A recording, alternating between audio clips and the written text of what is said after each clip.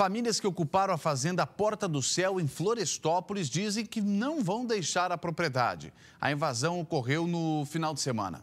O acampamento na fazenda Porta do Céu em Florestópolis começou a ser montado no último sábado. 500 famílias chegaram aqui com um único objetivo: conquistar um pedaço de terra. Marcela esperou cinco anos por este momento. Ficou todo esse tempo às margens da PR-170, na entrada da fazenda, com o marido e os dois filhos esperando um lote. Quando as porteiras foram abertas, ela e a família entraram. A luta e a espera deram lugar à realização de um sonho. Cinco anos valeu a pena! Aqui eu não redo meu pé. Essa área de 2 mil hectares é do Grupo Atala. O acampamento ganhou o nome de Zilda Arnes. Seis hectares vão virar uma cidade com a construção dos barracos nas próximas semanas. Para eles, hoje, é receber a tua herança.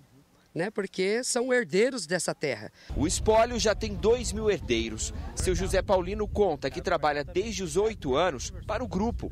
As mãos estão calejadas, marcas deixadas pela colheita de café e cana. Para mim representa a minha vida, né, onde eu vou tirar meu, meu sustento meu e da minha família. Essa propriedade já foi declarada como improdutiva pelo Instituto Nacional de Colonização e Reforma Agrária, o INCRA, desde 2008.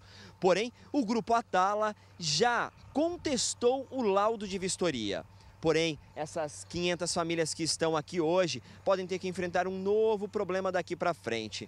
É que não está descartada a possibilidade do proprietário da terra entrar na justiça com pedido de reintegração de posse, o que pode acontecer nos próximos dias. Além disso, o Grupo Atala tem dívidas que chegam a um bilhão de reais em impostos e trabalhistas.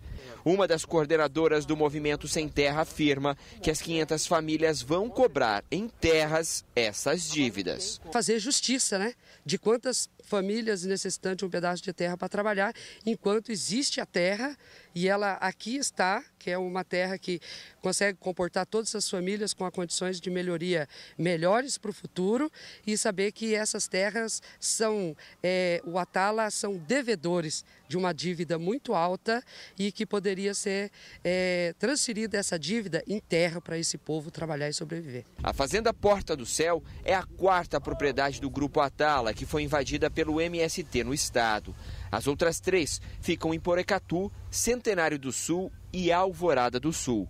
E aqui em Florestópolis, muita gente já viveu momentos difíceis, como o seu José Paulino, quando em 2008 a Polícia Federal descobriu um esquema de trabalho escravo na propriedade. Trabalhar o mês inteiro, quando chegar no final do mês, você não tem para onde correr, não tem pagamento. E aí, se você vai reclamar dos seus direitos, leva você numa quebradinha e te pega de porrada essa jagunçada deles. Já aconteceu? Com muitos pais de família.